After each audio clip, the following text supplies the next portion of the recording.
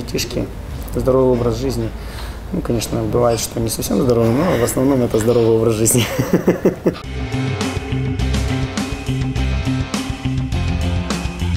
Как только спортсмен останавливается, за ним идут тысячи-тысячи людей, которые становятся на его место. Ну, вообще уже залезли мне в мозги. Вот видите, мне, значит, удалось подобраться близко к мозгам. Карате – путь длиной в жизнь. Э, останавливаться нельзя. Вообще э, спортсмены такие люди. Вот это чувство адреналина, оно как э, наркотик. И когда ты его теряешь, ну, фактически ты стареешь. И физически, ну, как, и как спортсмен. Как начинались ваши увлечения боевыми искусствами, в частности карате? Когда мне было годика три, наверное, мне отец э, привел в спортзал. Ну, тогда еще не спортзал карате, а спортзал дзюдо. Вот э, с того времени ну, я начал заниматься спортом, можно так сказать. Отец был и есть у меня тренером, он меня довел э, до звания чемпиона мира, до звания заслуженного э, мастера спорта по карате. Сами тренируетесь, а тренируете ли э, ребят? Да, на сегодняшний день э, веду сборную команду Республики Крым по карате. Там состав где-то у нас 20-25 человек в возрасте от 14 лет и старше. Я готовлю спорт высших достижений в области карате, а мои инструкторы э, готовят э, массовый спорт. И в этом формате у нас на сегодняшний день насчитывается более тысячи э, спортсменов.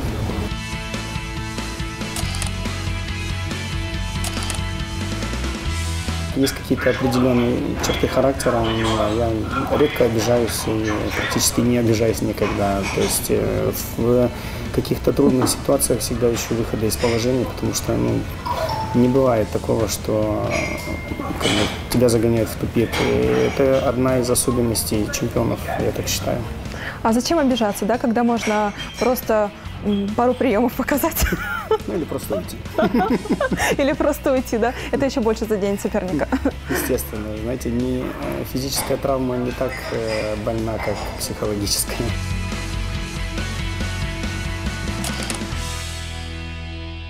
Ну, карате это же не только борьба, это еще и вид спорта, который имеет какую-то нравственную основу. Это так? Да, на самом деле э, карате это искусство и, и единоборство.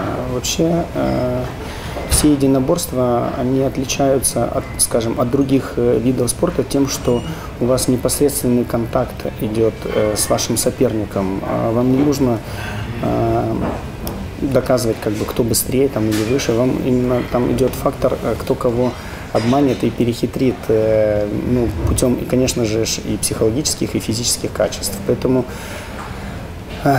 карате это как бы, знаете, как я говорю, э, татами это жизнь. Угу.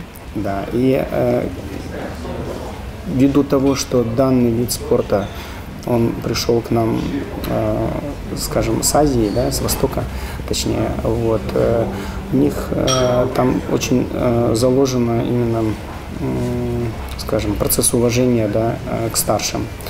И э, это мы обязательно развиваем в детях, в наших учениках, в наших подопечных. Это уважение к старшим и э, вообще правильное поведение э, по жизни, скажем так. Денис, может быть, карате стоит вести в программу школьную? Любой вид спорта э, развивает э, данные э, морально-волевые качества, да, как уважение к старшим, помощь близким и так далее, и, а также патриотические ценности какие-либо. Этот, но я думаю, что это все зависит не от вида спорта, а от тренера, преподавателя, угу. который Э, ведет э, данные кружки, секции. И правильно доносит до ребят процесс, конечно, информацию. Да, правильно доносит информацию до ребят. К сожалению, на сегодняшний день я не могу сказать за другие виды спорта, но в карате именно э, очень много, ну, скажем так, самозванцев, которые одевают на себя какие-либо пояса и на системе скажем, поясной градации зарабатывают финансы. И ну, как бы скажу, что не, не пропагандируют карате э, как э, благородный вид спорта, да, а пропагандирует как какую-то финансовую составляющую, там, бизнес и так далее. Коммерция. Коммерция, да. Ну, хорошо, если вы э, учите ребят борьбе, чему вы еще учите? Какой морали? Вот что вы даете, что вы вкладываете в их головы? Ну, первое, значит, хороший спортсмен – это умный спортсмен. И по себе могу сказать, если человек плохо учится, то, естественно, в спорте данные как бы, заслуги тоже могут быть немного занижены. Конечно же, есть врожденные э, качества, там скорость, выносливость, э, реакция – это основные Э, как бы показатели э, для высоких спортивных результатов. Но, э, скажем, работа головного мозга, она наиважнейшая в, данный, в данном формате, особенно если ты занимаешься именно единоборством, mm-hmm. где у тебя идет непосредственный контакт с твоим соперником. Федерация карате Республики Крым имеет очень давние-давние корни. У нас есть не только, скажем, кандидаты в мастера спорта, но и мастера спорта международного класса, мастера спорта уже и России, и э, также имеются заслуженные мастера спорта. Вот. Э, более, ну, не более, наверное, до десятка в Крыму имеются чемпионов мира по различным версиям, по, именно по карате. Вот. Э, Одним из них являюсь я. Вот. И под руководством э, наших квалифицированных тренеров э, э, наши результаты только растут вверх.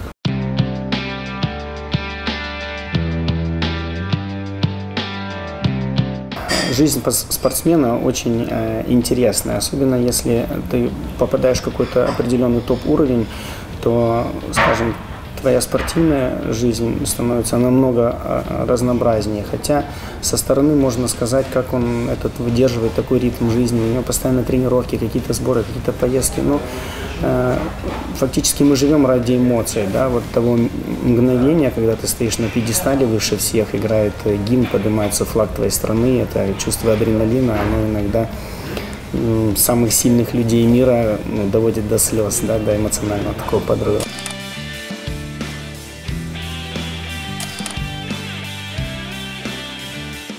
Такие знаковые победы, это, конечно же, э, топового уровня соревнования. Ну, а самые большие мои соревнования первые были, это э, было первенство мира в Венгрии в году, наверное, в 97-м. И я тогда первый раз э, увидел такое большое количество учащихся, там было более 4,5 тысяч участников. И я растерялся, ну и проиграл. Вот. Ну а запоминающийся, конечно, это вот 2002 э, год, Бирмингем, первый мой чемпионат мира среди взрослых, где я стал чемпионом. Это было что-то с чем-то, настолько была эйфория, ну, до слез, скажем так. Я туда поехал вторым номером, но оказался первым. Да, после этого, скажем так, моя спортивная карьера пошла в гору. А, я еще завоевал три э, высоких награды. Это в 2002 году это был Лас-Вегас. И крайняя награда такая высокого уровня была э, в 2013 году. Мы были на чемпионате мира по версии ВКЦ в, в Австралии, в Сиднее. И объездили полмира. И наверняка какие-то были возможности и перспективы уехать другую страну. Тем не менее, вы остаетесь в Крыму. Да, на самом деле у меня было на протяжении моей карьеры пару предложений. А, но на тот момент мы были в составе другой страны, скажем так, и мне предлагали а, в Англию контракт а, и в 2005 в Москву. Ну, тогда, скажем так, был молод и не решался на данные глобальные действия, скажем, жизненных изменений. А, а сегодня ну, я бы отсюда бы никуда не уехал. Ну, во-первых, мне здесь нравится. А, здесь тепло, комфортно и уютно. Здесь очень много друзей у меня, много знакомых. И, скажем так, эм, здесь мою карьеру спортивную все знают, а там мне придется все заново. А время такая штука, которую не остановишь и назад не отмотаешь и не вернешь, как говорится. Действительно, объездил очень много. начиная там от Вегаса, Майами, Гавайи, заканчивая Сидней, Мельбурном, Европу объездил все. И скажу так, что такого, скажем, такой теплоты домашней только здесь у себя на родине, скажем так. Нигде не почувствуешь, как Да, на нигде, родине, да? да, Как, как дома. Потому как, знаете, родина такое понятие. Я не скажу, что относительно, просто за свое время я родился, скажем, в СССР, потом оказался из СССР при распаде в Республике Узбекистан. Э, В 12 лет переехал в Крым, получил гражданство Украины, и сейчас я гражданин России. Я считаю, родина там, где ты, где твоя семья, где тебе тепло, комфортно, уютно. Вас называют дружелюбным человеком. Правда, что у вас много друзей? Да, на самом деле э, много, наверное, знакомых больше. А друзей, ну, я не знаю, скорее всего, не очень много, но это такой круг близких людей, которые придут на помощь или просто посидеть, скажем, попить чаю вот, э, в любое время дня и ночи. Есть тот самый э, вдохновитель в спорте? Как таковых э, вдохновителей никогда себе не создавал. Всегда хотел быть э, сам примером и лидером. Может быть, немножко эгоистично, но это факт. В спорте реализация чего-либо, она, можно сказать, секундная. Потому как э, как только спортсмен останавливается, за ним идут тысячи-тысячи людей, которые становятся на его место. И недаром говорят, есть же, допустим, у нас в спорте считается пиковый результат, э, лучший результат – это олимпийский чемпион. В спорте э, вы абсолютно счастливый человек, успешный, а в личной жизни? Ну, у меня два сына, одному 6 лет, второму 11 месяцев. Да, один Доминик, это старший, и Лев Денисович, это младший. Здорово. Люблю семью свою, ну, правда, редко их вижу. Вот. И, в общем-то, в супруге ценю то, что всегда ждет. Денис, о чем еще мечтаете? Ой, ну, хотел бы очень, чтобы мои дети попали на Олимпийские игры, были участниками. Ну, естественно, потом же стали чемпионами.